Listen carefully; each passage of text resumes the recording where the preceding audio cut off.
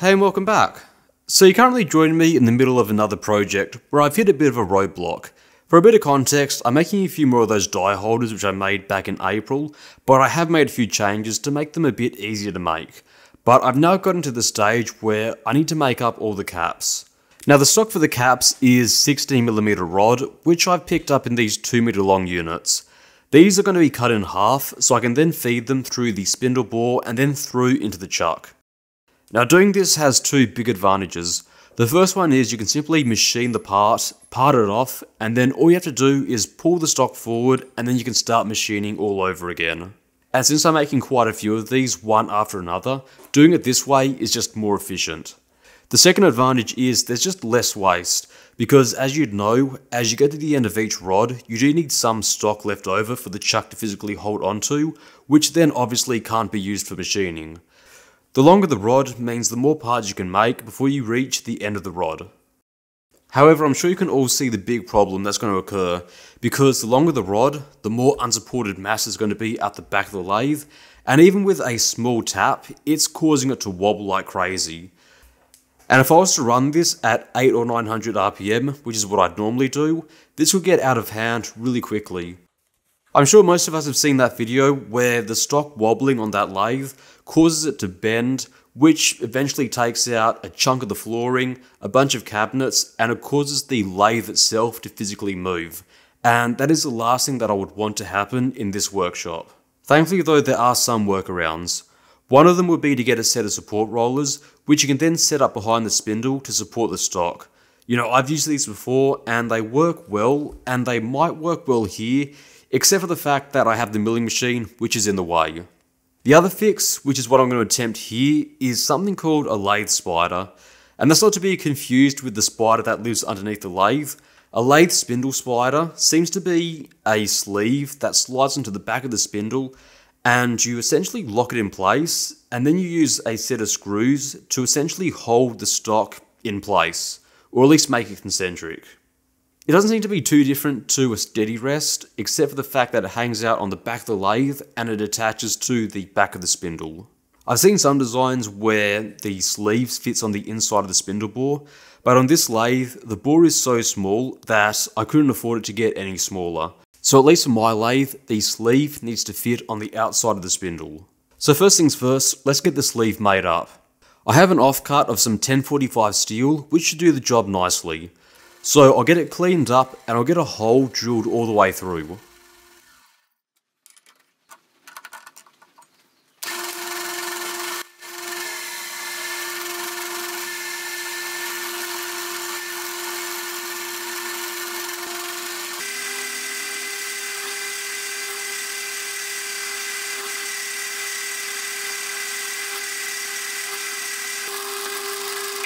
So the spindle bore on this lathe is 25mm, so I'll use a Deming bit to take it to 15 16ths of an inch, and then I'll take it to its final size with the boring bar.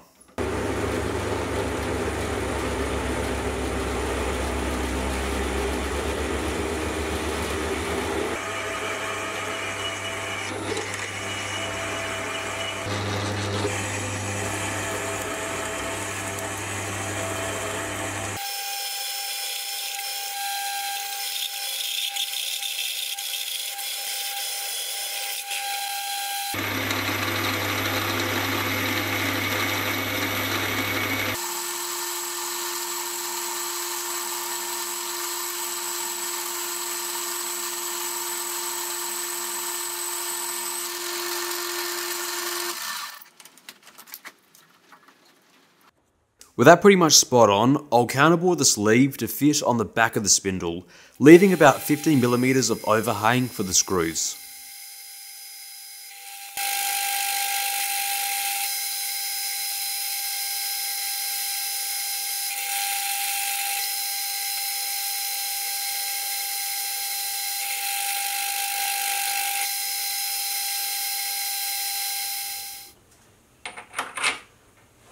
With the sleeve now made and now fitting on the back of the spindle, I now need to figure out how to clamp it in place. Now the original plan was to use a caphead screw to simply pull a slot closed and I would clamp it onto the spindle. You know, it's not my idea, and I'm sure it would have worked quite well, but unfortunately the stock wasn't large enough, and I really didn't have time to go out and get a larger piece of steel. Now plan B was to simply use a couple of set screws to hold it in place, but I didn't want to mark up the outside of the spindle if I was using grub screws, and whilst I might have been able to use some softer brass bolts, I don't exactly carry a whole bunch of brass on me these days, so that sort of went out the window too. Now the final plan was to simply use some hose clamps to hold everything in place. I've done this sort of method before, and it does seem to work, but unfortunately the pulley spacing meant that there wasn't exactly enough space to fit the hose clamps in the original spacing that I was hoping to. So as a bit of a compromise to allow me to get this project done, I had to bring the clamps a bit forward to clear the pulley. And my fingers were crossed that this was going to work. So the next step was to get it in the dividing head, and then I could use a slitting saw to cut in about 6 slots to allow the sleeve to act sort of like a collet and compress in a bit.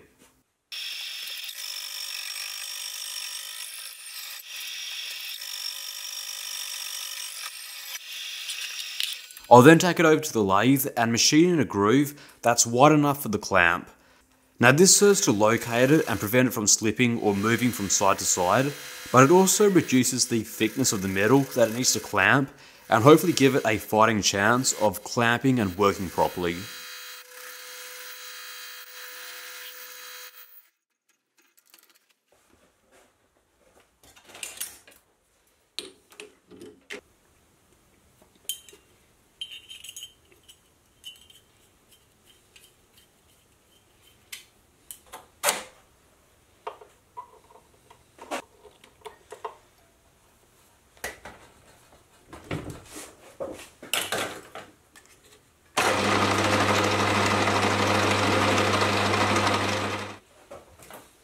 Finally, I'll get it back in the dividing head and get three holes drilled and then tap for some screws. I think I might have been better off doing four holes to sort of work it like I would a four jaw chuck, but three seems to have worked just fine for me, at least for the moment, but if it doesn't work in the future, I can always add some extra holes.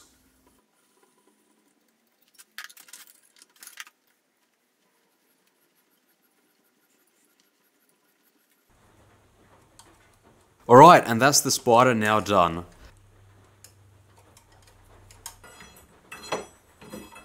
I'll then use a dial indicator to then dial it in. The important thing here is not to do the screws up too tightly, since you don't want to mar up the stock, and I also want to be able to pull the stock all the way through to make the next part. And the moment of truth. And I gotta say, that looks pretty good. You know, for the amount of stick out that I have here, there is almost no wobble in the part. And I'm running this at about 900 RPM, so if it was going to be an issue, it would have definitely showed up. With that said though, this is probably as far as I'd take it, and if I wanted to make it any longer, I'd probably want some sort of roller support. With all that now done, I can pretty much close up the back and start machining like I normally would. And that's about it for now. Sorry about the unplanned nature of this project, but that's sort of the reality of machining sometimes. You know, this was all done at about 7 or 8 o'clock at night when all the shops were closed, and I really had to get something made very quickly with only a small amount of material on hand. So, at least to me, this is about as successful as any of the other projects that I've done. It works and it works really well. And with this now done, I should be able to get the rest of the project finished. So until then, thanks for watching, see you next week.